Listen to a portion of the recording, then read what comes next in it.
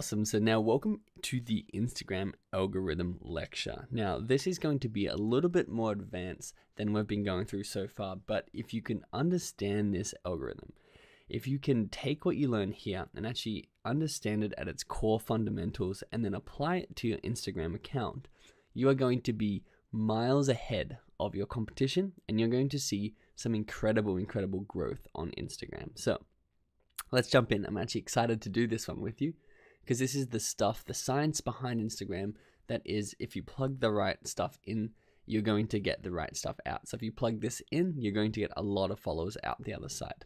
So Instagram's algorithm decides what content to show on people's home feed. So if you're browsing your home feed on Instagram, Instagram have selectively curated what you're seeing. It's not it's not showing you every single post from every single person you follow. But Instagram actually using an algorithm to decide what they think is going to keep you on their app the longest, what they think you're going to enjoy the most and interact with the most, which ones of these posts are your favorites in order to have have you have the most uh, pleasurable experience possible on their app and therefore spend more time on it and come back and use it in the future. So you need to understand the same goes for people who follow your account. You will on average reach just 10% of the people who have decided to follow you. Meaning if a thousand people decide that they like your account and follow you, that's not enough to actually get in front of those thousand people when you put a post out, on average, you're actually going to reach just 10% of these people or 100 people. So, this is where we need to work a little bit of magic and we need to understand and understand the algorithm first and foremost, and then we need to understand how to hack this algorithm in order to increase this exposure and be seen on as many people's news feeds as possible. So, making sure that any photo that you post will go out to at least half of your followers or sometimes even more than your followers which we're going to get into that in a second. But how do you post a photo to a thousand people and get 5000 people to look at? You use the tips and tricks in this exact lecture. So this is what it's going to look like. This is what your current on the left here your current instagram account may look like I don't know if you're posting uh, stretching bears in the water, but you're going to put a uh, photo up and it doesn't actually attract new followers back to your account. Um, and you know, you probably get 52, maybe 100, uh, maybe you're getting a 1,000 likes, but you're not getting the full capacity of likes that you actually can get.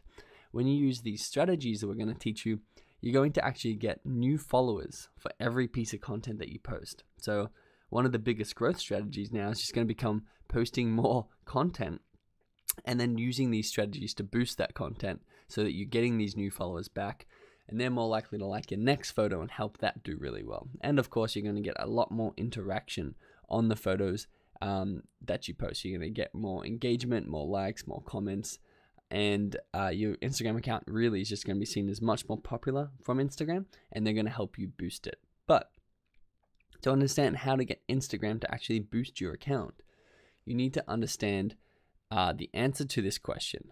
And the question is, what does Instagram want? Because if we know what Instagram want, we can give Instagram what they want, and therefore they can give us what we want, which is more exposure. So, the simple answer to the question is that Instagram want high quality content that people absolutely love because the, for the simple reason that they want people to use their app more. And the more people use their app, the more ads they can show to these people and the more money they make. So therefore, if you're on Instagram and you just keep scrolling and you keep seeing content that you absolutely love, you're going to spend more time on it and Instagram are going to sell you more ads. So, now that we know Instagram what high quality content people love, we need to know how they determine if it's high quality content that people love or if it's low quality content. So say we post this photo here on the left of delicious looking avocado toast with a side of what is that, an apple crumble or something, and a coffee, you know, just a breakfast post. Instagram have to decide whether this is a high quality post or whether it's a low quality post and whether they want to show it to a lot of people or nobody. And the way they do this is actually quite interesting. And I've re- represented it here as what we call a micro test. So instead of Instagram being like, oh, we're gonna have people manually look at that photo and just be like, do we think that people are going to like that? Instagram actually go and use hard data. They actually just go and they micro test the photo that you put out there, meaning they take that photo, and in this example, this isn't these numbers aren't exact, but it's just to get the principle across. They're going to show that photo to 100 people who follow you already. And what they do is they measure the engagement. So whether people view it, whether people, if it's a video, it's called a view if you watch it, whether people like it, whether people comment on it, share it, or whether people stop scrolling. So time on post is if they're going through their newsfeed and they stop scrolling and they see a photo, that's also counted as engagement. So these are the things that we want to make sure that our content is doing. If we can get our followers to engage with our content in any of these ways, Instagram are going to see it as higher quality because this is how they run their tests. If Instagram, if you put this photo up on Instagram and Instagram micro test it, which you need to know that Instagram micro test every single piece of content that goes on their platform. Not one piece of content is not micro tested. So this isn't just a random uh, stop and frisk test that's going on, but every time you post, your content won't go out to everybody at once. It'll go out to a micro test. And if, say, 10 people, you can see the pink 10 people on the top of this uh, cool little graphic, have interacted and engaged with it, which remember the engagements are uh, what we saw on this other page here. If we can go back, I think we've gone back too far.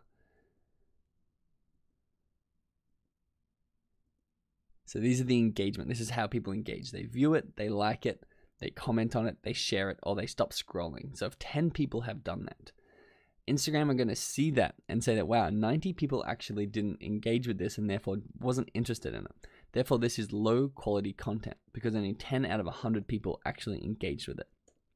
However, the same piece of content goes out to a micro test and they have 60 people engage with it. They're going to be like, wow, okay, that's really high quality content because 6 out of 10 people like this photo enough to engage with it. And therefore, this is how Instagram are going to understand whether your content that you're posting out there is really high quality or low quality. And this is how Instagram therefore determine should they promote this piece of content to their uh, to more people on their app, or should they really just hide it from existence and pretend it never existed? Now, you can see here that I've got it sort of binary, uh, mainly just to show you how simple uh, this principle in the simplest form possible. So, micro test is it high quality or is it low quality? Where in reality, it's more of a sliding scale. So Instagram do the micro test, as you can see on the left. They've tested your photo. And then on the right, instead of being, is it high quality or is it low quality, they actually rate it. So they may rate it on a, on a scale of 0 to 100 based on how many people engage with it. And therefore, you're going to fall somewhere on this exposure graph. And this is the boost that Instagram are going to give your piece of content if it's really high quality, or if it's really low quality, they're only going to give it a little bit of a boost. But you can see this is how things go viral.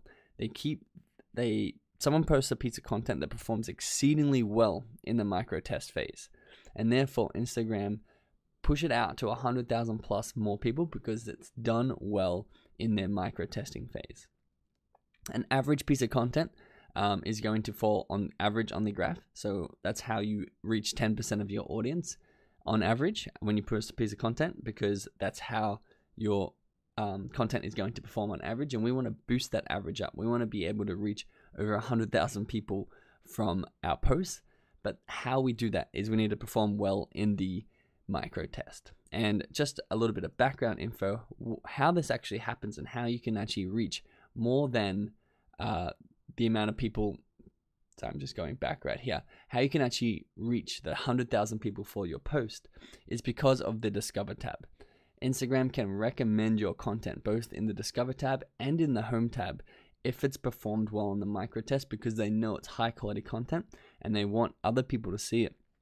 That's going to keep uh, them on their app for longer. So, our hack here and what we need to investigate how to do is how to get as much engagement possible within the first couple of hours of our post because we know that first couple of hours is the micro test phase. And therefore, if we can get as much engagement as possible, we're going to be rated really high quality, or on that scale, we're going to be rated at the top tier. And we can actually uh, get all of our posts that we're posting to do far more than a 10% reach, but we can do up to 100 to a 200% reach on average to our audiences just by hacking the algorithm, the Instagram algorithm in this micro test phase.